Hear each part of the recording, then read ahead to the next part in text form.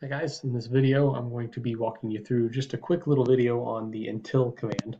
So what I have here is just a little bit of code, um, nothing special. What happens though is we have an until bump command and then we have start motor, wait, and stop motor. And you can see over here I have some comments that kind of highlight what's going to happen. And the main thing I want to focus on here is the until bump.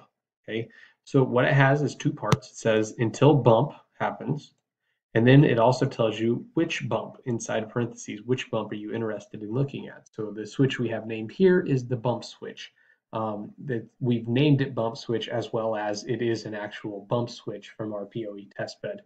So what's going to happen with this is if we have like a thousand lines of code and somewhere in the middle of that is an until command, what the until command says is says, okay, it's going to progress through these lines of code. It's going to be moving down, moving down, moving down. And when it hits this, it's going to stop and it's going to wait until something happens. In this case, we've told it to wait until the bump switch is pressed. And which bump switch is the one we've named bump switch. Okay, so the code is going to stick here. It's going to wait at line 18 until that bump switch is pressed.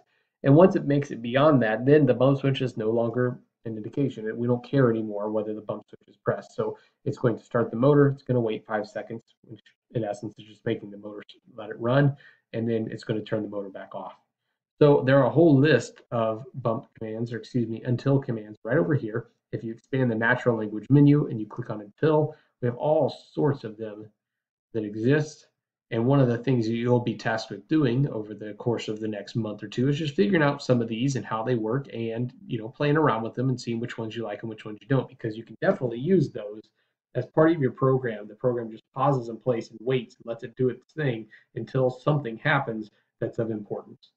So hope that helps. And now on to making the bump switch actually perform functions for you in 3.1.3.